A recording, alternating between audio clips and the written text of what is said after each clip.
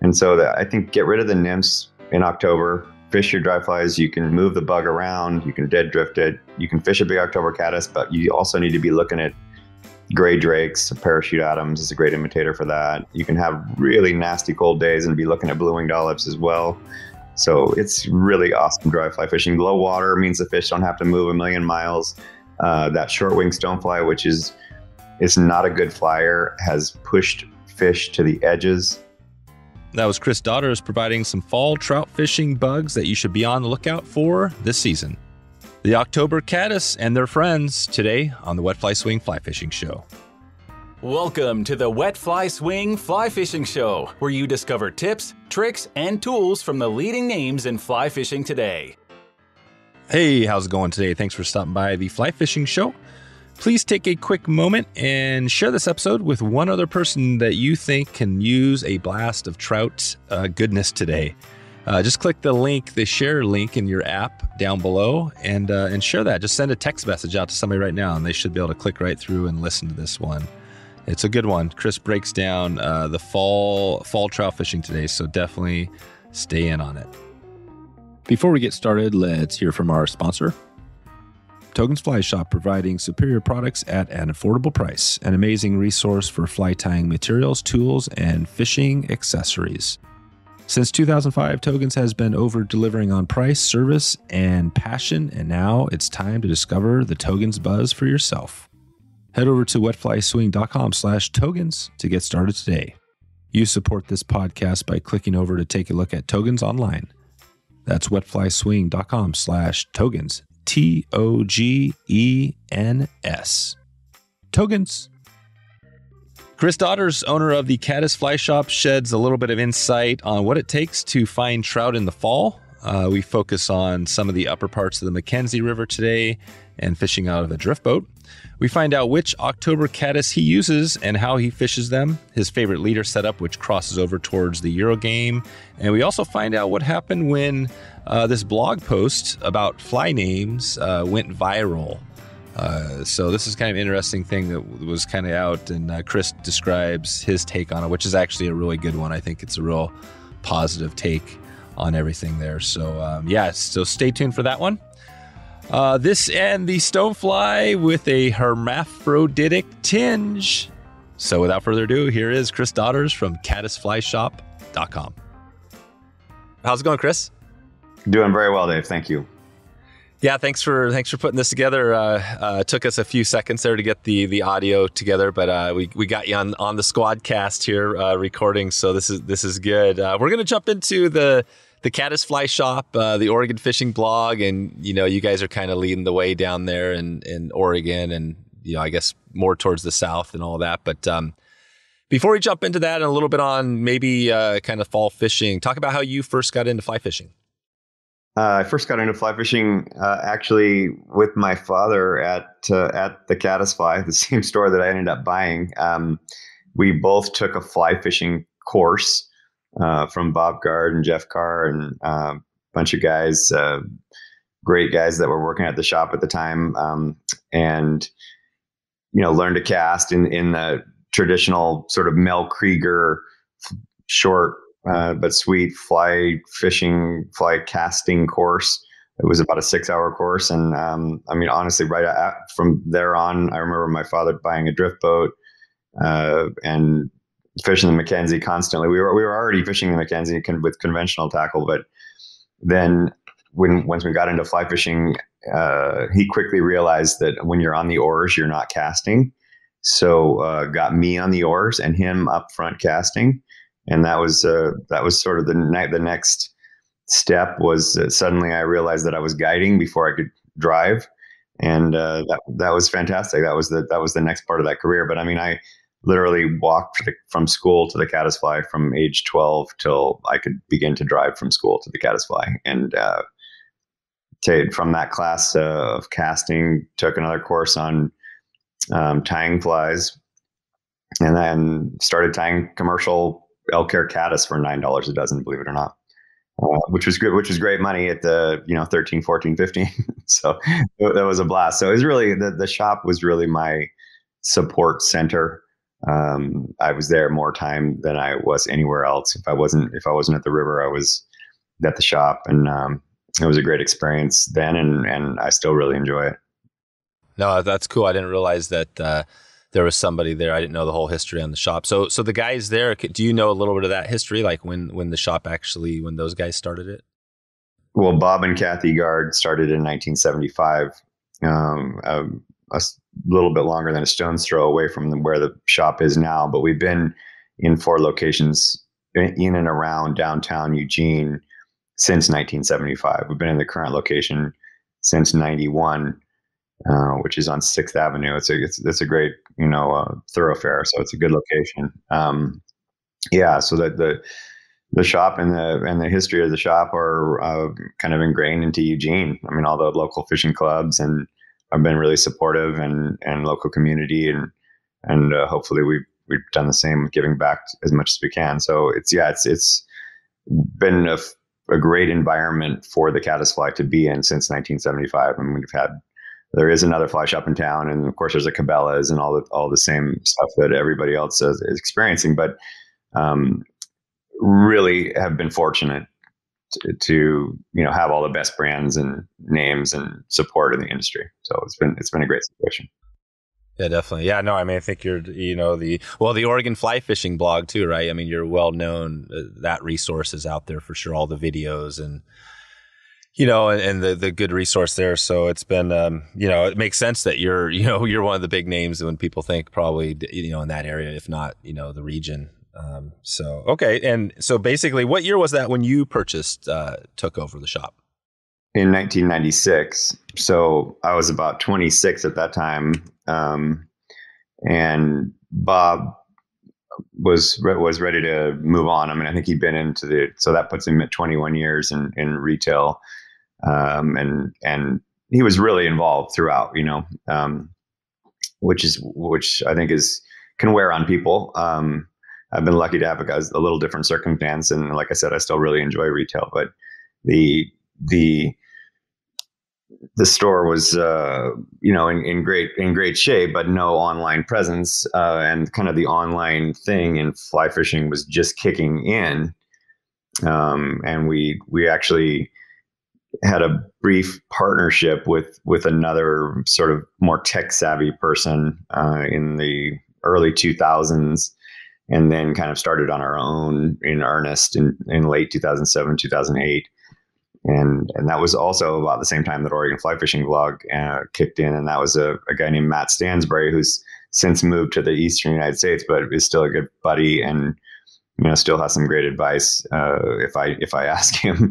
um, he's an awesome writer and uh, he's still he's still active in his own local community, but uh, was really uh, the, as as co-founder of Oregon Fly Fishing Blog, he he was you know a great guy and uh, got us you know involved in sort of conservation projects and contests and more you know so savvy internet stuff. Uh, and, and I've had to learn all of that. You know, I, I really honestly came in absolutely blind and and uh, that's that's been as as many of us have had to kind of grow with with that part of business world in the last 20 or you know 15 years or so it's been it's been fascinating. And, and who is that again that helped you with the the online stuff? Well he matt, matt really helped me with oregon fly fishing blog. And that was matt who? Matt stansbury okay. And and he's you can still find matt i mean matt is still writing a lot. Um, he's in north carolina right now but uh, he's he's just a fantastic writer. I mean, I would suggest to anybody that can find his stuff, or of course, there's a lot of stuff on Oregon Fly Fishing blog that people will know, but uh, he, he's he's just he's really got a great style to his writing. And when we look at the blog, uh, you know, I, and I want to just touch on that just kind of quickly because I think it is a good resource. How you know, how would you recommend if somebody wanted to find some topics? Is it best just to start from the most recent stuff, or is there a way to search? It sounds like there's many years of, of, of content there. Is there an easy way to find what you're looking for? Yeah, there is a there is a search tab um, that that you can utilize, but there's also those um, you know where you can attribute or attribute the, the post to a topic. And those topics are on the right hand side in a column. So they can be fishing reports, conservation, fly tying videos, McKenzie River, Deschutes River, Umpqua River. So you can you can see those and click on those, and that will kind of drill it down. Um, but but you can type in anything. I mean, you know, you can put in spey lines or sink tips or whatever matches or fishing reports, and that's gonna that's gonna filter it a little bit for sure. So if you wanted to search for, say, for example, uh, fall uh, fishing, fall trout fishing, October caddis or something like that, could you find some articles there? For sure, for sure. October caddis would be a really good one. Yeah, you get videos and fishing reports there. Oh, good, good. And the videos are are the videos more like fly tying videos, and or do you actually have stuff out on the water? No, they're all going to be like fly tying videos primarily. Uh, very little on the water. Yeah, and, uh, and our our fly tying videos, you know, they're not they're not studio quality as many in the industry have really stepped that up, which is awesome. Um, but uh, you know, I think our, our content has been uh, genuine and uh, proven about that. well, and we'll t- hopefully talk about this if we have time. I know Jay Nicholas, I know, and he's been a big part of right a lot of the videos over the years. Um, yeah, absolutely. And, he's awesome. and he's known as one of the yeah, definitely one of the passionate, you know, one of the best out there as far as what he does. So this is that's good. Um, okay, so so that gives a, a, little taste, and so basically, it's since '96 uh, you've been going there, and it sounds like you do a little bit of the the guiding, a little bit of everything in the shop, and you have staff. How many staff do you have there? We have about ten um, right now, and and I mean, it sort of yesterday was interesting. It reminds me of sort of my my start. We had a, a kid, uh, Owen, who's worked for us for the last uh, summer, spring, summer, and you know, he's going off to college. And I was like, I was kind of thinking like the Caddisfly has always had like a history of, of hiring young, young kids. You know, I was one of them. You know, we, will virtually break labor laws here in the 13, 14, 15 year old kids, get them, get them into the store. Uh, you know, they're passionate. They're, they want to learn. They'll, they'll do anything. You know, I remember, you know, being in a, you know, windowless storage room, pouring bulk cement into glass jars uh, you know, mothballing giant bag, you know, 20 by 20 boxes of marabou. Uh, you know, we'll do anything because because we love it, you know. And trying trying to and you glean all the the uh, information that you can from the from the guys that work there. Exactly. So so you're still able to do that. Can you actually take a, a kid and, and get them in there, uh, uh you know, legally or whatever? Yeah, no, you can. Yeah. So I mean, Owen is old enough, but uh, yeah, we do, and I, I think that's a I, I like that about a fly shop. Always, you got to have that. You got to have those, that young energy around for sure. And how did that feel when you first uh, in '96 when you uh, you know you purchased actually officially purchased the shop? It was awesome. I mean, it was a uh, you know in a like maybe ten years prior, you know that was like a dream. To be truthful, I mean, I I was not that wasn't really on my radar. I wasn't I wasn't thinking that could ever happen. I mean, I had like a I had a 1976 Dodge pickup uh, to give to collateral to the SBA uh, for my application. So it was uh, not not really. Uh, I mean, there wasn't really a lot uh, of financial backing there. So yeah, it worked out good, and you know, Bob made it made it happen too, um, which was good good of him. So it's been fantastic. I mean, I've just been so lucky that the you know the river runs through it. Part of it was was uh, phenomenal. Was that about that time when, when you first bought it? It seemed like it seemed like it was in there. Yeah, yeah. Um, and you know that was like when the store was going absolutely bonkers, and you know you just had so many people getting into the sport. And then after after that, you know you you kind of saw the internet come around, and you know that's been that's been great as well. So uh, I think I've been in a you know timing wise a great a great time in in the fly fishing business, um, and locally we are just super fortunate to have a, a, kind of a growing community, the University of Oregon around us, two rivers that run right through town, a tremendous amount of fishing in Oregon, as you know. So it's a, it's a pretty idyllic situation. Well, I wanted to dig into, you know, there are a lot of things we could dig into. Obviously, there's steelhead fishing and there's a bunch of rivers, like you said up there. I, I was kind of thinking the, you know, obviously the caddis fly shop, You've got the caddis all the day. The, the fall caddis, if we had to dig into a topic, is kind of interesting to me because you know caddis are an important species out there. Um, you know, if you take us, maybe take us to the river and think of that fall. You know, as you're preparing, say, for that October fishing, can you kind of just take us to the water? And I don't know, if is the McKenzie like where would you be going? Would you be hitting the in the fall? Would you be hitting the McKenzie or the Willamette? What would you be doing? Well, I like I like both drainages, uh, uh, but in the upper reaches a little bit. I mean, de- depending on how cool that water in the lower end has gotten and how fast, you know, like later in the fall, the lower McKenzie and lower Willamette are going to fish well. But my personal favorite would be to get in kind of that upper reaches of the upper McKenzie, say, you know, from milepost 50 in that range, 10 miles up or 10 miles down on Highway 126. Or if you're going to talk the middle fork of the Willamette, we're going to be near the town of Oakridge. Uh, and both of those are fantastic fall caddis fisheries. But I have to I have to mention, and there's a this is one of my this has been probably the last 10 years or so, but prior to the October caddis, but still in the fall, is that short wing stonefly, which I think I first encountered um, in Idaho, uh, South Fork of the Boise, but has grown in importance in in my tactics locally. Uh, very interesting bug. Arlen Thompson discusses it in his book Bug Water. You don't find a lot of other discussions about it though. It's a largely nocturnal stonefly that occurs in the fall. And it is it is really good fishing. I mean, it's an underrated emergence of stoneflies uh, for uh, in, in terms of when when I talk to people about it. I don't I don't hear a lot of people who really have it dialed in. So I'm going to be thinking like that in, in kind of early fall, and then of course as we get on and we start seeing October caddis, uh, you know, you can fish anything orange and, and have a shot for sure and early fall is w- w- for that um, that the stonefly. What what is early fall? Is that like uh... first two weeks of September is is uh, is the beginnings, and on, on often it is well over with by October first.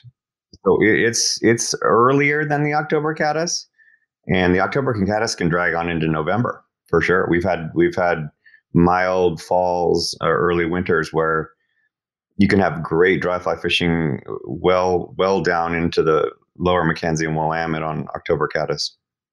That's right. So basically, October caddis, and once you hit it is October still. I mean that that hasn't changed. You can still that hasn't changed. You can start. You can you know you can fish October caddis as early as the first couple of weeks of September for sure. Um, but I typically I'm gonna I'm gonna see that happen around the first of October and, and through mid November, assuming water conditions don't blow out, which I'm kind of which I'm kind of hoping they do this year because we need some water exactly.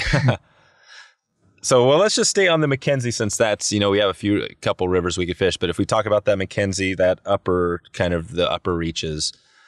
So, talk about, you know, again, let's maybe go back on the river. And are you guys doing the drift boats? Is that pretty much how you're fishing? Yeah, we do. Um, I actually ha- I have one of those outcast ambush rafts as well for um, you know, for a single guy in super low water. But yes, drift boats are 99% of what we do. Uh, we have a guide service that that does the Upper McKenzie, and a lot of the guys do that Upper River. Um, and it's sort of technical boating. You know, lots of rocks to hit, lots of rocks to avoid. But that also means that there's a ton of pocket water, a ton of great, you know, all day fishing. Like you don't you don't like sit down. You can be casting literally the entire day in that upper end. It's awesome. Uh, good good wild fish, rainbows and cutthroats, and uh, spectacular scenery. Um, so it's a great stretch of river. Okay, so so basically that puts us there. So you're on the water, and as you're going down, I guess it depends on the water levels, but you know maybe just start us off with the flies first. If you're if we're talking that caddis, I mean, are you guys kind of focusing on you know fishing a bigger bug there with the dropper? How, what's that look like? Your setup?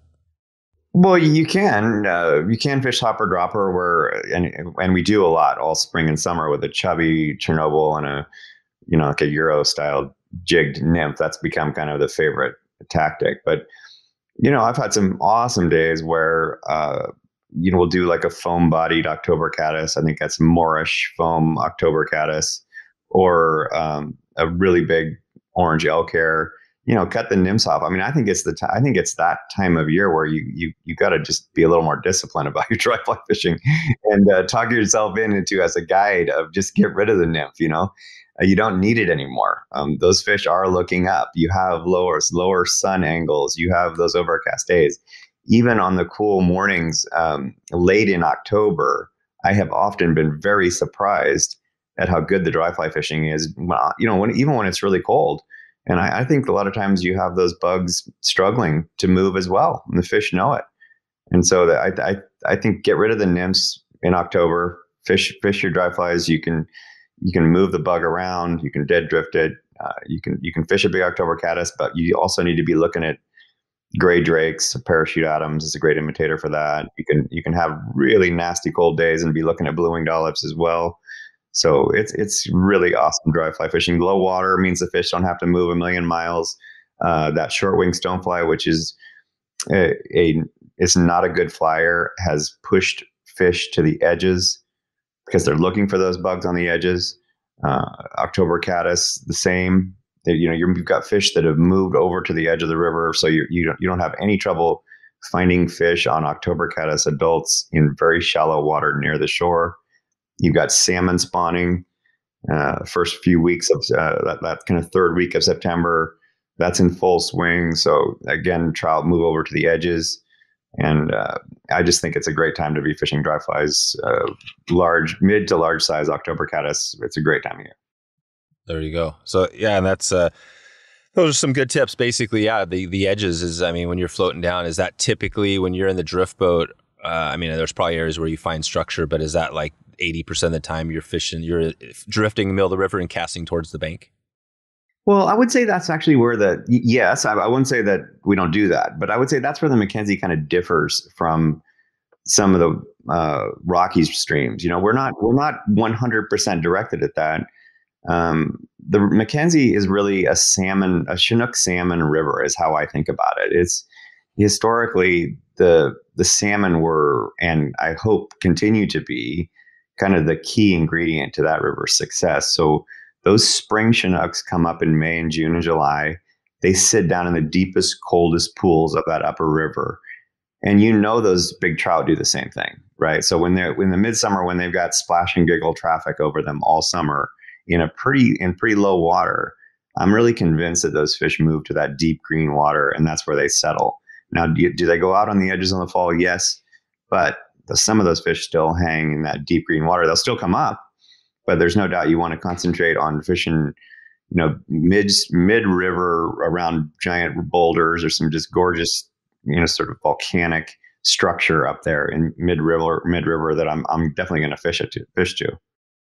Okay, so so basically, you're you're open to fish. You're not just focused on the bank. There's going to be some areas, especially. You're really not. You're really not. Yeah, I mean, I think that sometimes when that short wing stonefly hatch happens, that's you know you're you know, you're going to need to do that. But I but as you move into October caddis time, you, you need to be looking everywhere.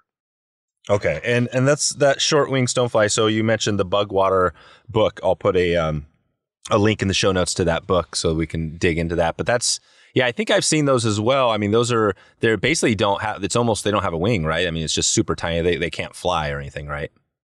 I think it's the male that can't fly at all. Um, and that book, by the way, you know, I mean, I grew up with Western hatches, just you know, like referencing it constantly. Dave Hughes and Rick Hafele. It was just an awesome book. But to me, that's the modern Western hatches, uh, and he does such a great job of explaining it in you know non-entomologist terms um, i can't i can't recommend that book anymore i mean it's just so it's so good i'm excited for that book that's great yeah because western hatches is kind of like one of the you know Bibles. one of the big yeah exactly it is kind of the bible but there's actually this one's actually newer so this this has come out since then Yes. Oh, much. Yeah. No. No. And Ar- Arlen had like fish tanks in his front yard. He was running water through for bugs, and I mean, he did. He he's he's a, really worked at it. It's tremendous.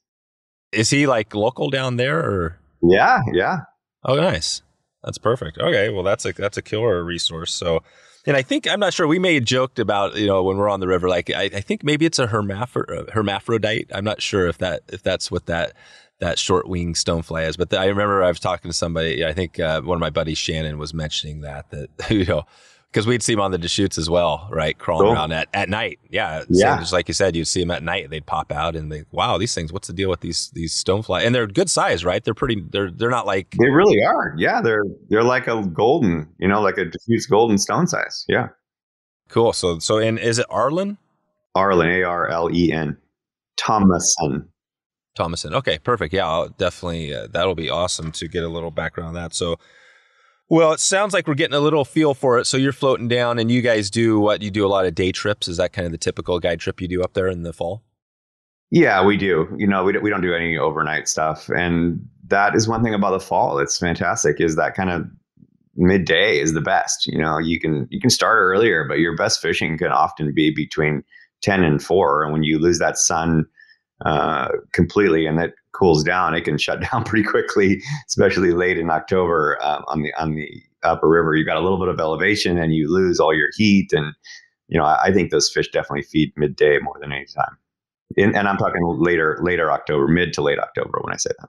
Mid to late October, yeah. yeah. So if you're out there in late September, you could it could still be 100 degrees, right? Like depending, maybe not 100. Yeah, but it, it it's and I think I think again you lose some traffic and you lose a little bit of that light uh, right overhead, and you've got the salmon going. So those fish those fish tune in pretty early in September.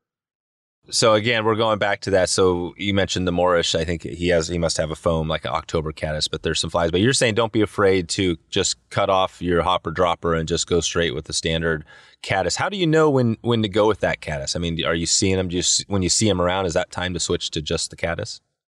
Yeah, I think I think you're seeing you're seeing some caddis. The the upper river has a, a more Metolius river like bottom structure and insect population. So uh, we have a variety of mid-sized rust-colored caddis throughout the year, and then it and and and that will those will still be going on in the fall, and then so I don't I don't I don't think that it's just that prevalence of the of the October caddis that that makes these fish go up. I think it's a it's a variety of conditions as well as insects because a lot of times the October caddis, it's not like you get to view fish smashing these things as they're dead drifting down, you know, on the on the bank. It's just that they they're rarely available to fish much of the year.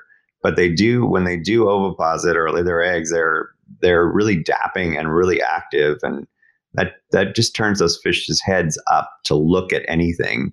And so I think once that begins, in in you can start fishing a, a lot more dry flies. Okay, and that typically begins sometime in October. You don't know exactly when, but is there a rough time? If you said somebody was planning a trip, you know, with you for a day up there, eh, you know, right now, would you say you know mid October? Or you just don't know. Well, I'd say anytime after October first. I mean, mid October, you're in it for sure. Yeah, you are. You are, but you know, you you also say that hey, it could be a pretty nasty day in mid October. Uh, that hasn't been the case for the last ten years, but I'm still I'm still harkening back to when we actually had falls and winters. But um, it, it could start. It could start. Uh, it could start in the first week of October for sure. And, and, let's go to the fly box a little bit because you've mentioned a few. You mentioned this stonefly. We, are talking about the October caddis. There's some other smaller caddis. What, what's your box look like when you're getting ready for that October? Or somebody was planning now for that October trip, what should their box, you know, and, and we could talk nymphs, right? Do you also have some uh, caddis nymphs that you use as well? I, I got to be honest. I'm not. I'm not a big October caddis nymph.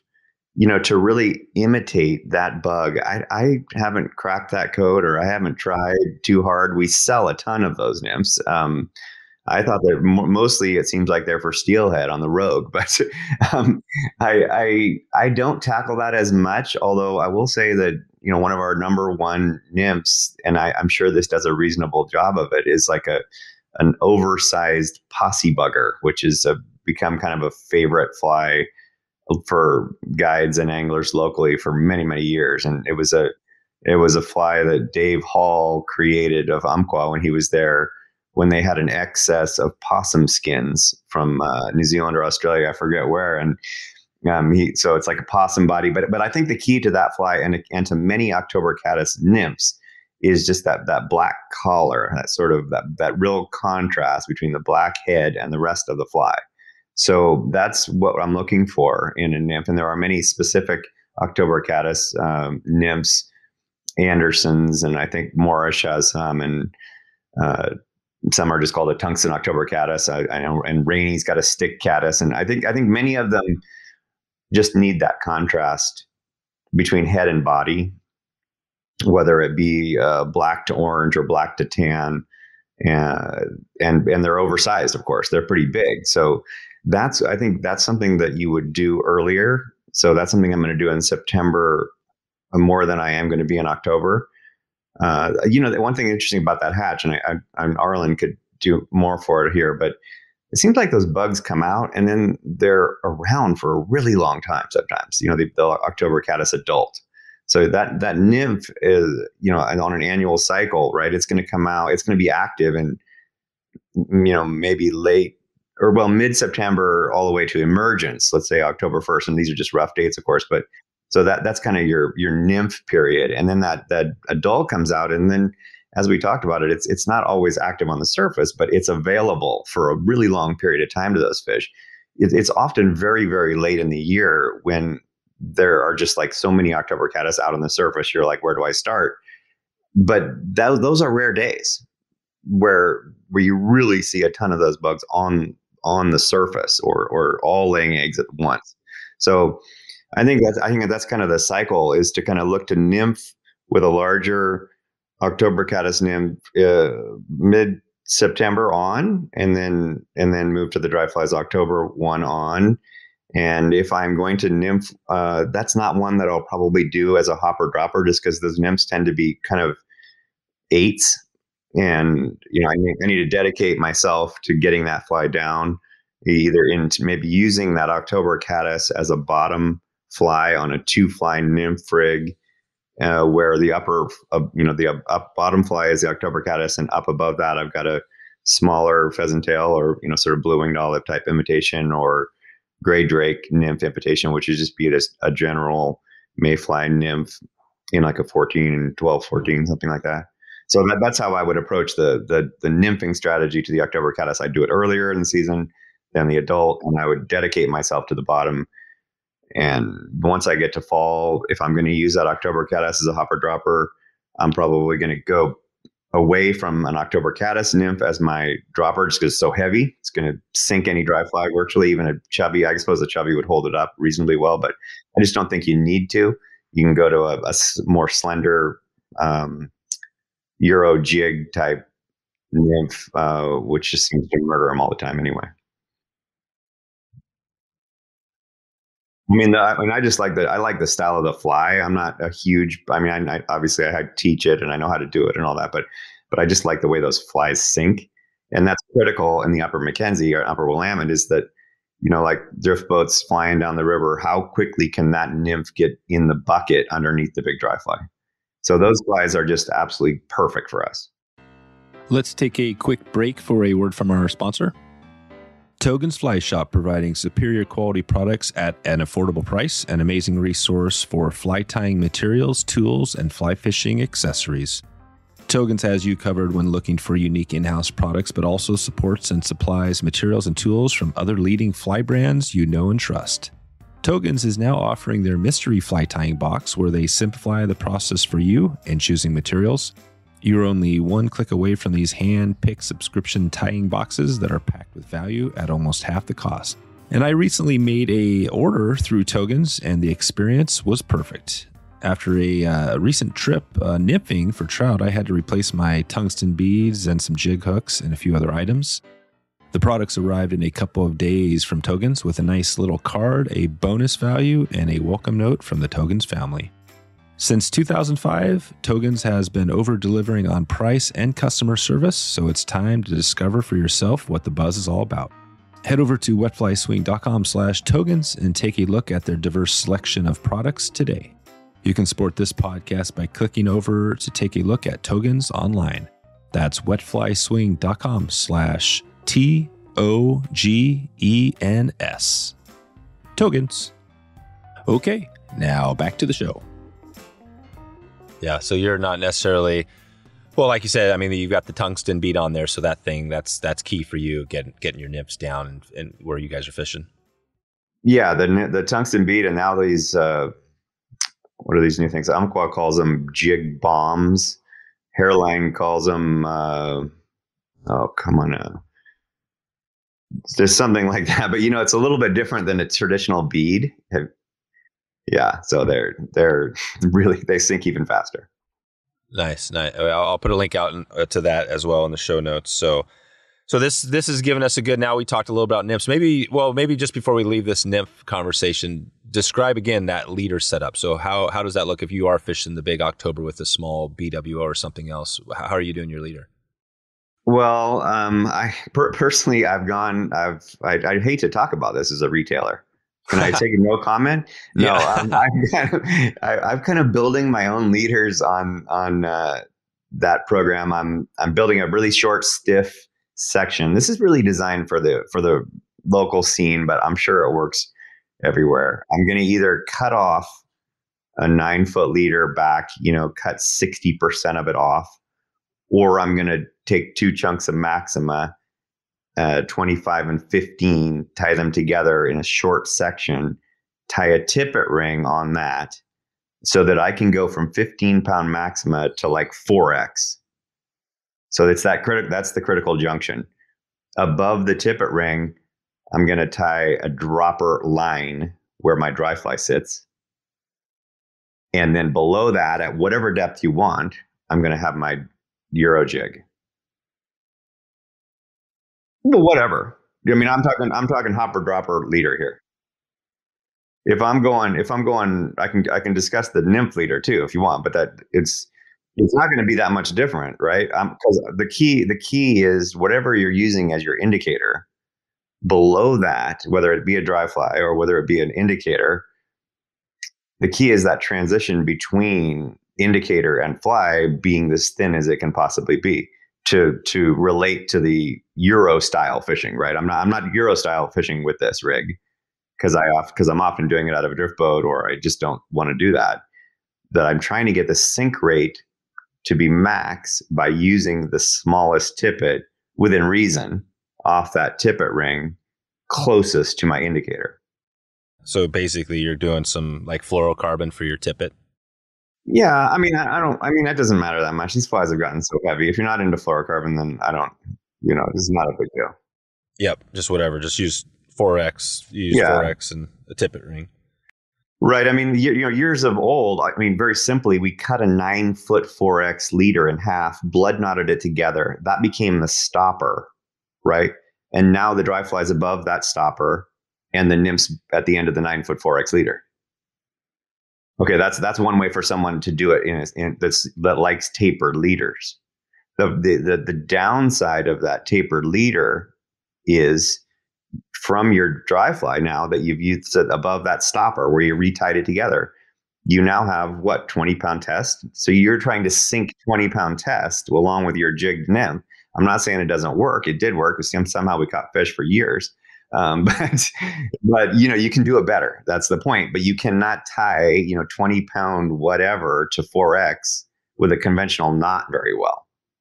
Hence the tippet ring uh, transition.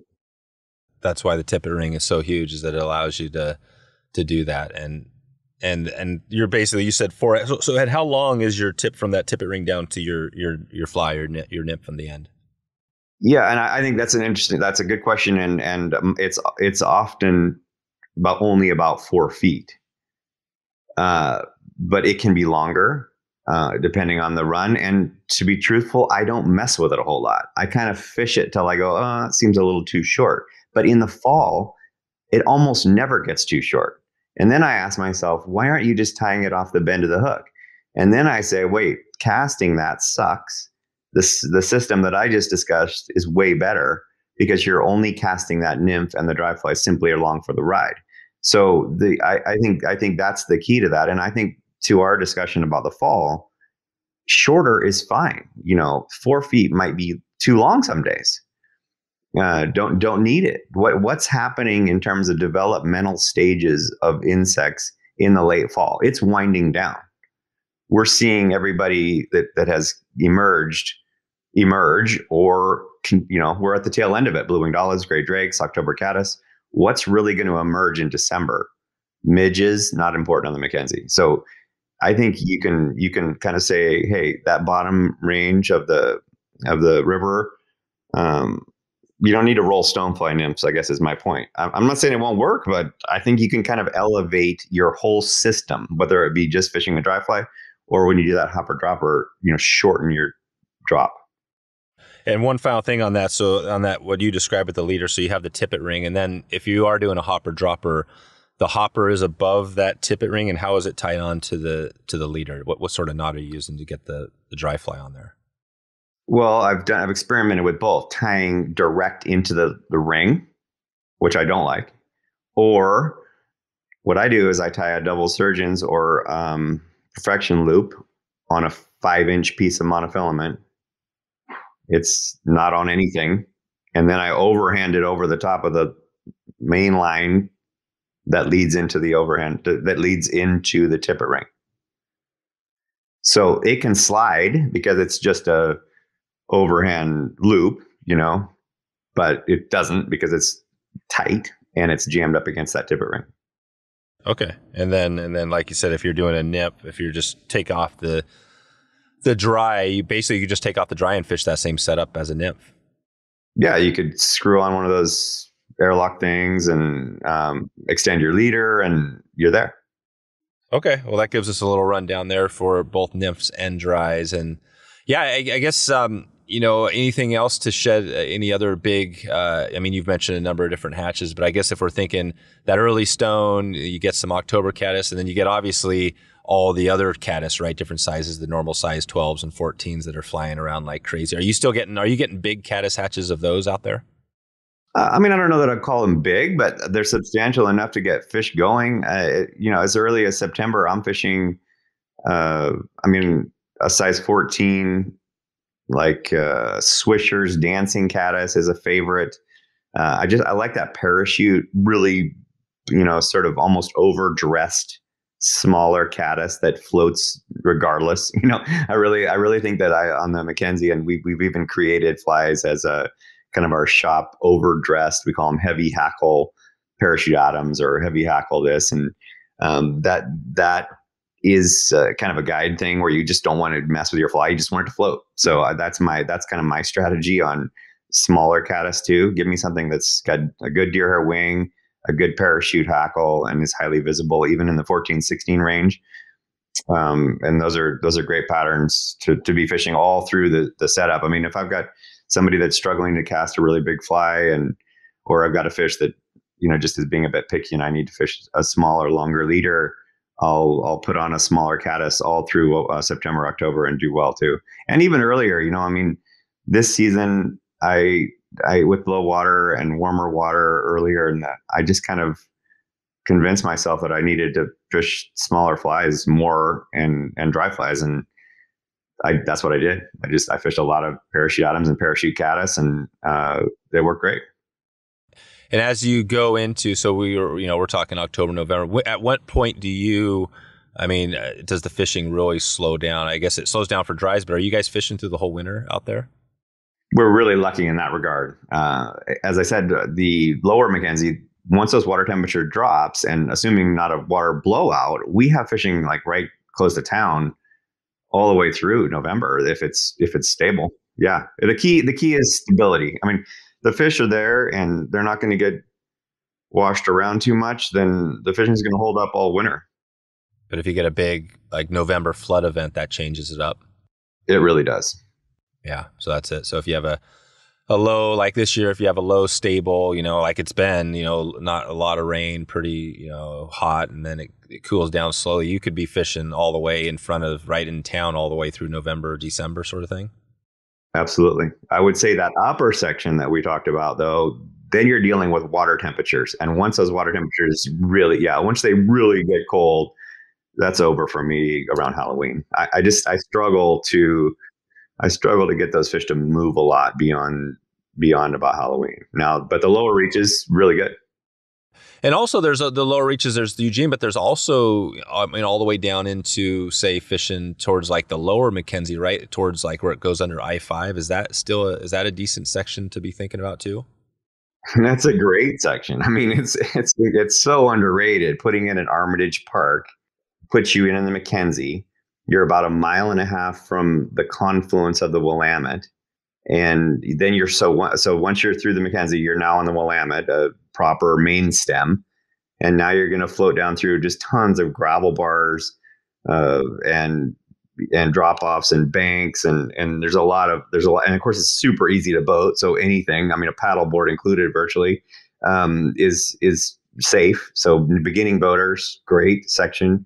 You can take out on the river roadside um, at a Hayes Lane, or you can take out on the Coburg side, which I prefer to, at a place called Christensen Landing, and that, that's a, that's a great section of water. So yeah, there's tons of so even through into December, and then at some point, you know, I mean, I guess then you get into transition to really like blue winged olives in wintertime where it can get cold. But even then, you might have mild winters, right, through all the way through January, February.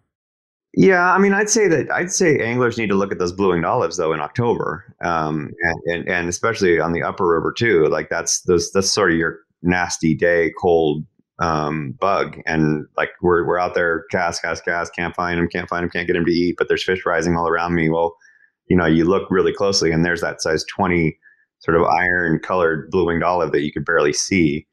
Um, that happens in October November for sure. Uh, I, I, don't think it. Uh, not a lot happens after that. I mean, you, you don't have too many hatches. I mean, we're going to start looking at blue winged olives again in February after after December. No, that's good. That gives us a little taste of not only that upper river, but kind of the lower. I, I want to touch on before we kind of wrap it up with some of the fishing. Um, I mentioned Jay Nicholas, and he was on way back. Uh, he was actually one of our first guests back in episode. Um, I think it was number three. Right, we're at we're at two forty seven now wow. uh, on cool. this one. So we've been going since uh, you know twenty seventeen, and and Jay's awesome. I know Jay, and he uh, right. He's been a big part. How, how did you meet Jay? Gosh, um, I I just met him at the shop. I think. I mean, uh, I think him and Matt Stansbury, who I mentioned earlier, the the blog, um, you know, may have met through either like native fish. I mean, I, I honestly I don't have I can't peg it down precisely. He was just there. You, I mean, you, he like he's ingrained into the caddis fly shop. He is, and then like I mean, he and I went out fishing and kind of talked about what uh, he could do for me and and I could do for him, and and uh, we've we've been friends and colleagues ever since. And he, you know, not only has contributed to the blog, but it contributed to our website a lot, and um, you know, has has been great through throughout since.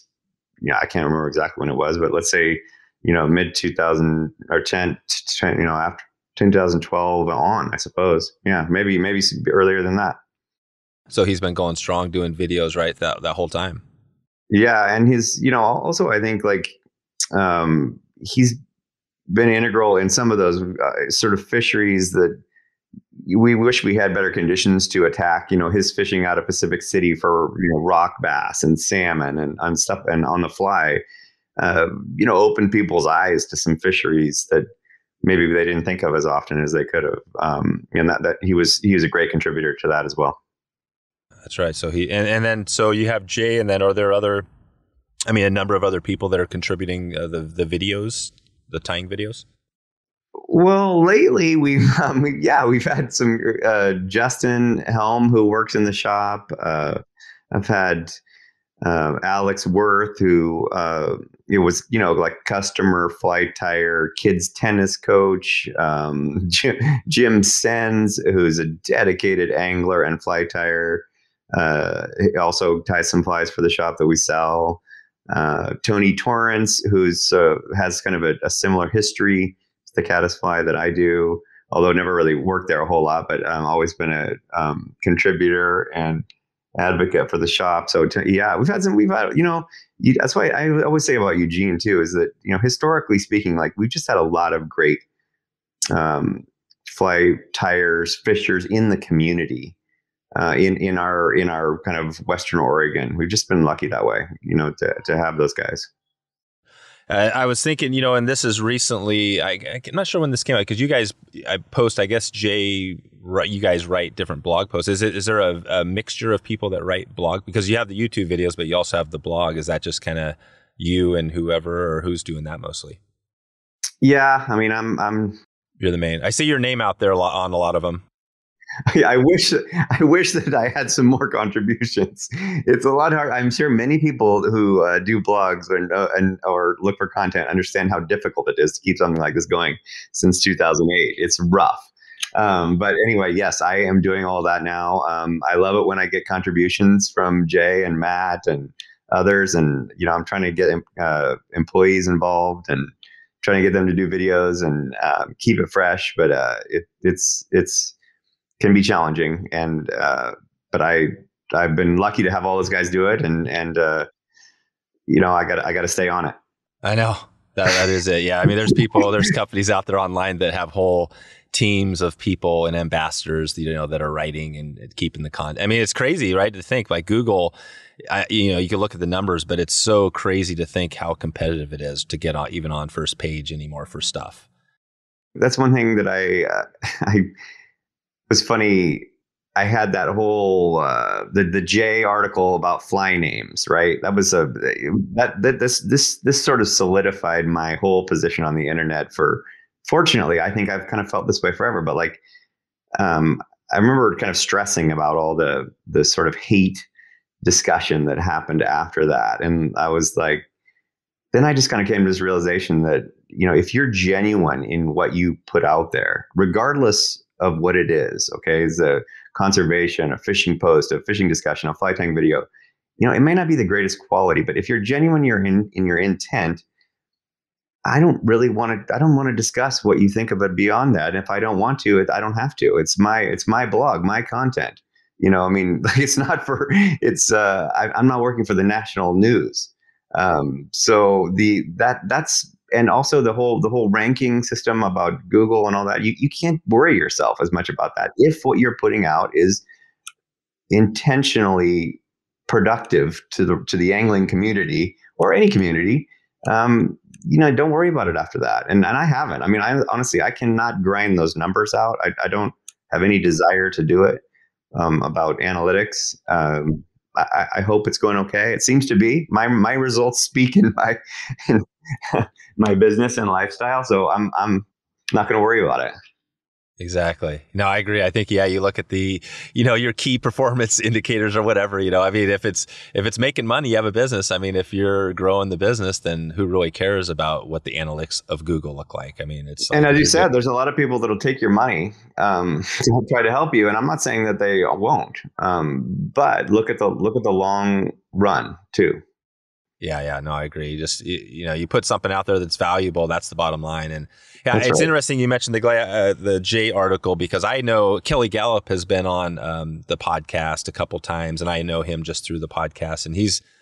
You know, we've had great conversation. That was really interesting because I remember when I somebody mentioned that. I think I might have posted about Kelly Galloup, and somebody said, "Hey, you should check out this the Oregon Fishing blog about Jay's article." And I was like, "Oh," and I and I checked it out, and I was like, "Well."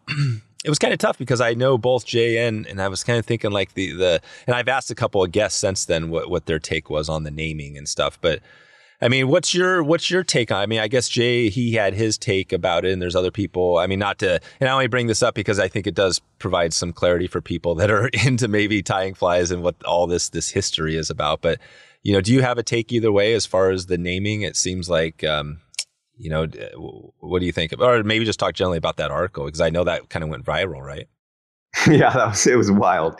Um, but no, you know, my my take is in terms of the overall is just can we do better on the naming and and to me the answer is yes. So I don't I don't have a, a take on who, why, here, how, what, whatever. I just just you know can we can we do a better job of being thoughtful in our content and, and produce whatever we're doing artistically or otherwise. And you know that I think I think that's the gist of the article. Um, I, I so the the the part that was weird as the blog manager and the part that nobody got to see so much was you know the the kind of troll type comments and i i think it's just sort of a societal issue at the moment um, maybe it's always been there but I, I, think that was a, that was a really interesting kind of learning experience for me. Like I said, you know, I just you know, I just you have to just kind of block that stuff out and say, you know, how much of this is really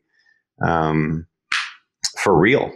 you know, how much of this sort of hate speech is for real? And I don't, I really honestly don't think. I think there are some people who are looking to sort of engage, and I did not engage, and so I, I feel like um, that's the right way to play it. I agree. I, I think that um, Yeah, I think there was some comments out there from whoever that were like, "Yeah, you're you're you know monitoring, you're not you're letting away the comments you go through." But I agree. It's like, I mean, you know, Jay wrote this article, um, and you know, if there are trolls out there, which there are, you know, there are people that are trying to do this, trying to stir up stuff. Then why would you want that to be? That's not helping anything. I think, and the point you said about moving on is what. I think everybody agrees on the Kel, you know, the Kelly Galloup thing. It's like, you know, that was a time ago, right? That was back whenever he created those, and it was a different time you know, exactly. the comedians, I've, I've had the, the, some comedians talk about this. I've heard some famous comedians say, you know, it's like Eddie Murphy, right? You go back in the 80s, there's nobody doing Eddie Murphy comedy or what, you know what I mean? Like it's just not happening. But then it was, oh, it was people did it. And, and that's the same thing with these naming things. Like Kelly isn't naming his flies whatever porn name anymore. You know, I mean, it's not the same. We're not in the same, you know, deal. So anyways, I appreciate you talking about moving on because I think that's a great take on the whole thing. Yeah, I, I think that's how we we've all got to learn uh, to do better every day. That's that's it. You know, that's that was the message. Yeah, and, and did that did that article? I mean, when you look at, I guess maybe you didn't even look at the analytics, but I mean, did you just see just by the comments, the sheer comments, how much more viral it went compared to other posts?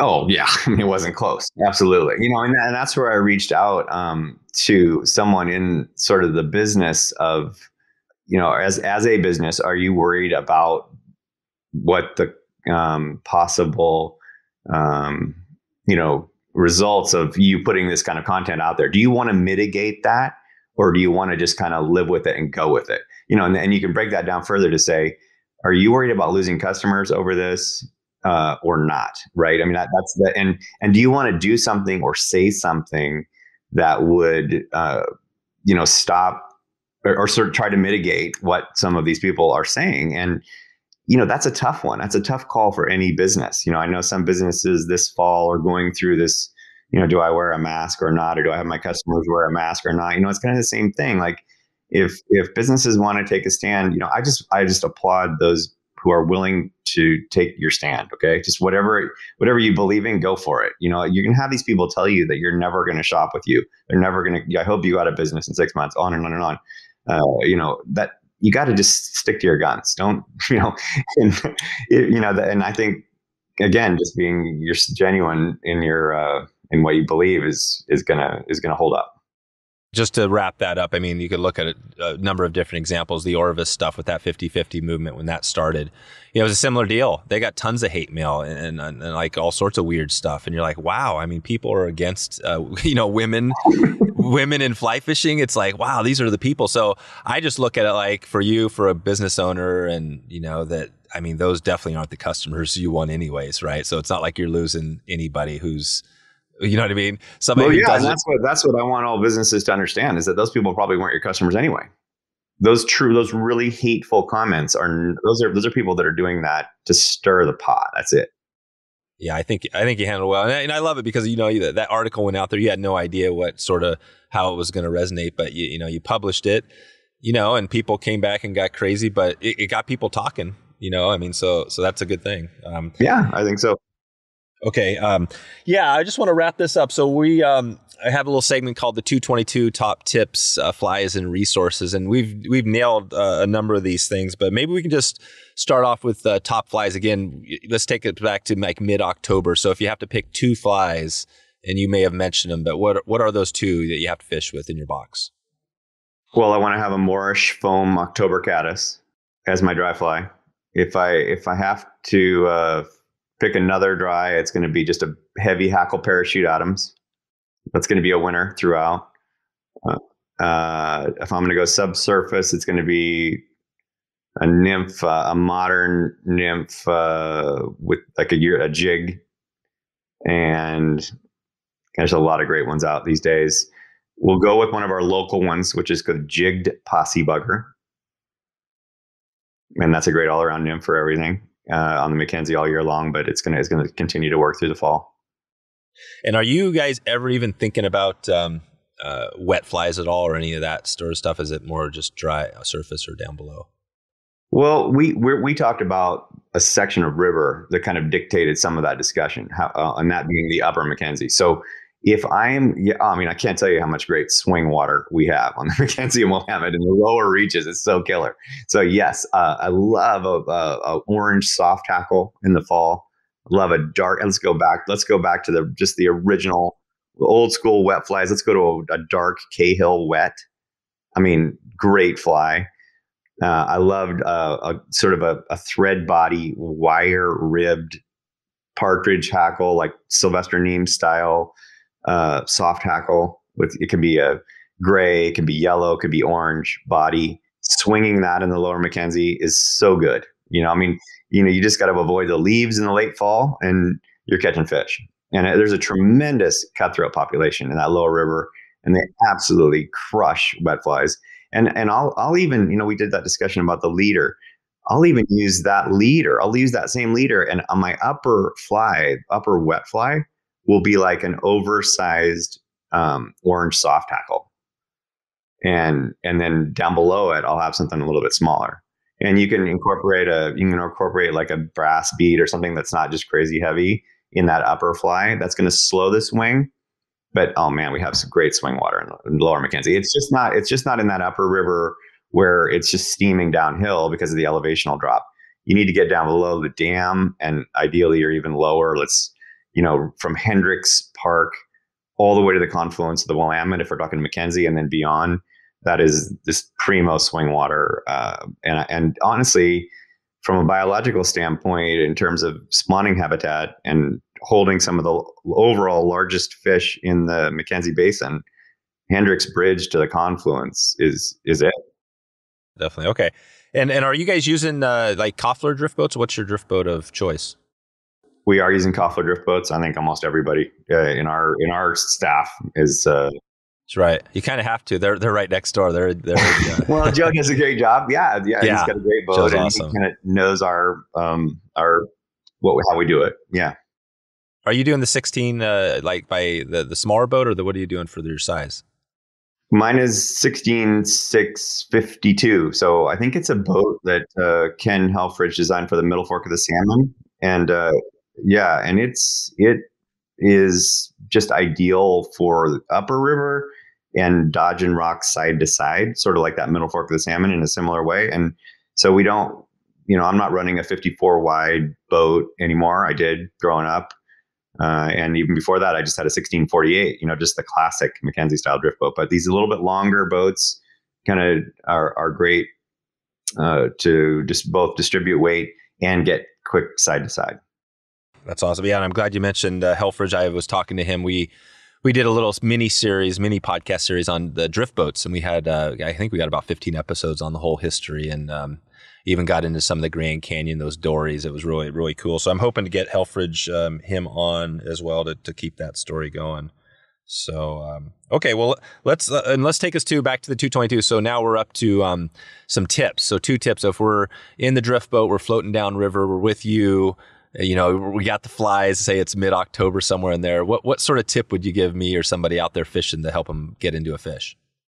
Uh, well, if you're in the if you're in the front of the drift boat, I want you looking ahead all the time, and I want you casting downstream at least uh, at least down from my oar lock.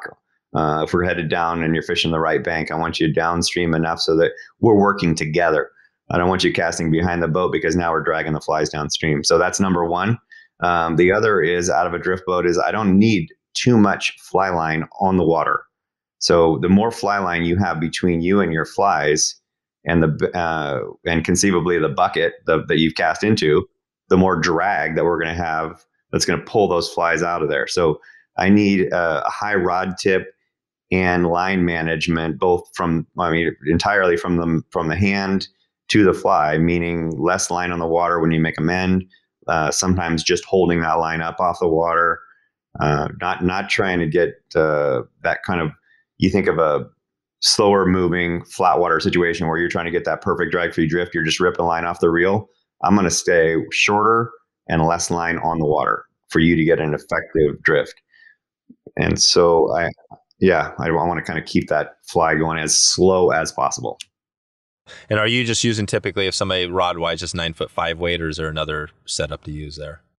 Yeah, nine foot five weight is fine. Yeah, a little longer rod. Uh, sometimes guys that prefer that, it's it's pretty deadly. Kind of what I just my discussion just just there about keeping line off the water and keeping that drift. Uh, that that long rod is pretty sweet. Okay. So that gives us a little firepower there. And then just on resource, you mentioned probably the best one, the um, uh, the bug water. Is there another resource or somewhere where you direct me? It could be a book, magazine, a video, anything where somebody could dig in more into that fall fishing or even focused on the caddis.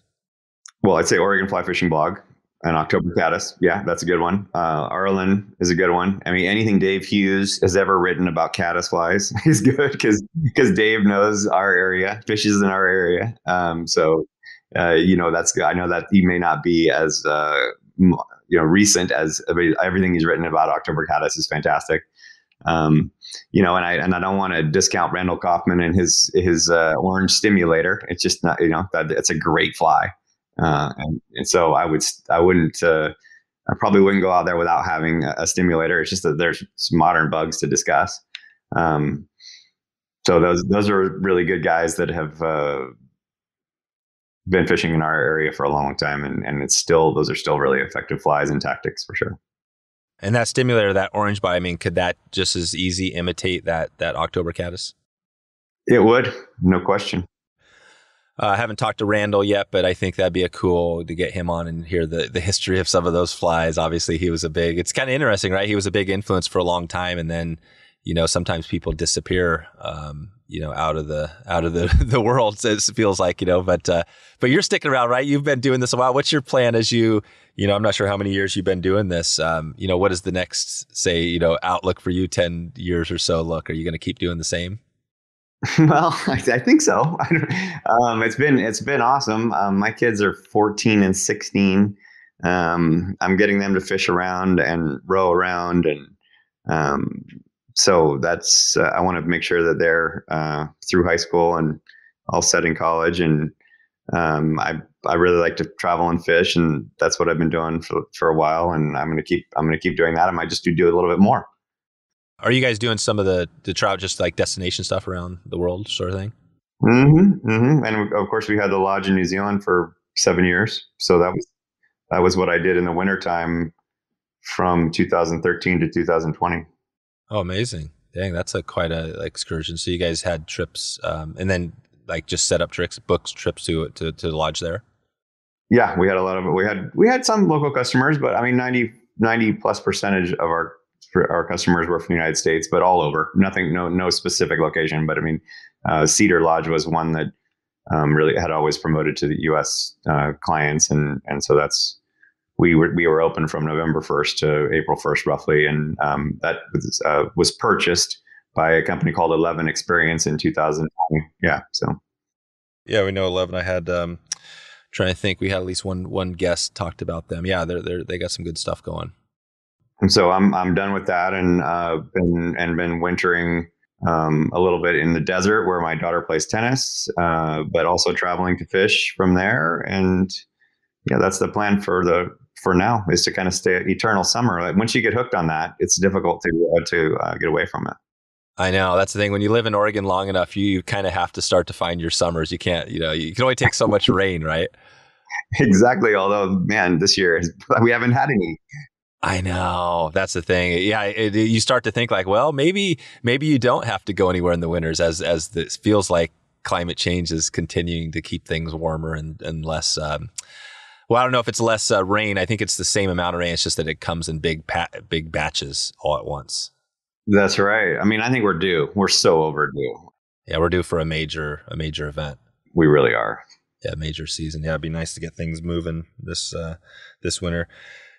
Cool. Well, I think Chris, that's about that's about it for you. Um, I guess we'll direct people out to caddisflyshop.com or the Oregon Fishing Blog if people want to connect with you. That'd be awesome. Okay. Hey, and one last quick one. I, I did want to miss this. We've got a little uh, music, a little random uh, section here. We've got a, uh, a blog or a, a, Spotify channel for the podcast guest. Do you have a, a, a band or type of music you like to listen to? We could add to the mix. Oh man, uh, so. Uh, let's see. Are you, are you a big music? Are you more a music guy or more a podcast no, guy? No, no, not at all. Not at all. Um, I'll have to email you that. Okay, email it to me. I'll I'll, uh, I'll check back with you on it. I'll Yeah, consult. gotta. I'll consult with my music music people here. Yeah, talk to your music. This will be more of a Caddis Fly Shop uh, uh, selection. And right now, if it's at wetflyswing.com slash music, uh, we can all go check out. We got a, a good random mix from a bunch. I got to shout out to Chris Chris Santella. He he he must be the music that I would have used, wouldn't he? Has anybody ever used his music? Chris Santella? Yeah. Oh, have you ever had him on a podcast? No. Oh man, you got to have Chris on. Oh, now who's Chris? Chris is a just a, a fly fishing um, musician. No, no, no. Chris is a author of 50 Greatest Places to Fly Fish Before You Die, but that would be the work that we'd be most familiar with, but has written a ton of stuff. Yeah, yeah, yeah. I know that definitely. That's a huge, huge book. Okay. He's got a band, and I don't even know what it's called. So, but I'll I'll email you. Good, good. Yeah, everybody. It seems like everybody. There's a lot of people that even Hafele, right? I don't know if you do. Hafele used to have a band back in the. I think he played the drums. So Cool. I didn't know that. Yeah, yeah. Uh, all right, Chris. Well, I'll let you get out of here. Thanks again for taking the time today and shedding some light on some fall fishing. I hope uh, those people connect with you this fall when this thing gets out. And uh, yeah, man, we'll find some fish. Thanks again. Thank you, Dave. Have a great day.